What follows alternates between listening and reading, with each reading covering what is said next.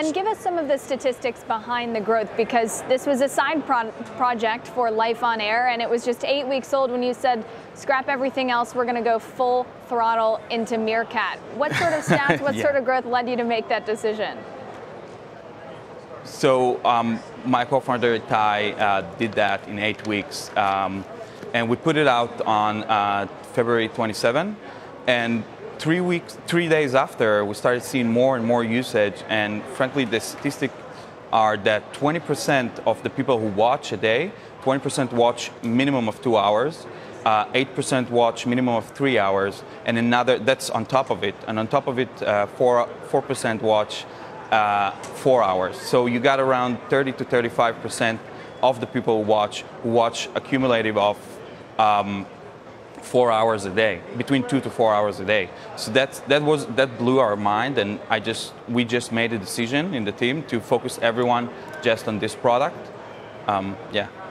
Well, Ben, that's amazing engagement, uh, the sorts of numbers that VC salivate over. I, I, first found out about Meerkat. I was in the Madrid airport and I saw Steve Sinofsky, who's uh, a VC with Andreessen Horowitz, streaming on Meerkat. I downloaded it and started streaming also. I can only imagine that investors are beating down your door trying to hand you millions of dollars. Are you going to take more money? Uh, if so, what are you going to use it for? So our, our, main focus right now, uh, and we have great investors, uh, our, our, main focus right now is to continue the growth and duplicate and, and try to find more use cases. So we're going to South by Southwest. Um, we're trying we're going to meet uh, people there and trying to find more and more sports use cases. We've seen uh, churches using it for their worship services. Um, so our main focus is more use cases and making sure that the product is not is going to be solid and working. That every time you press that button, uh, people will be tuning in and it will just work magically. If Facebook offers you a couple billion dollars, will you sell it, or Twitter for that matter? No, we're, we're, we're just focused completely on making this something awesome. I think the community still is, is amazing and it's still small. And I think that if we really want to make a change, we'll need to have a bigger community and more people that are using the product and engaging with it and understanding that it's time to dissolve the, that line between watchers and broadcaster.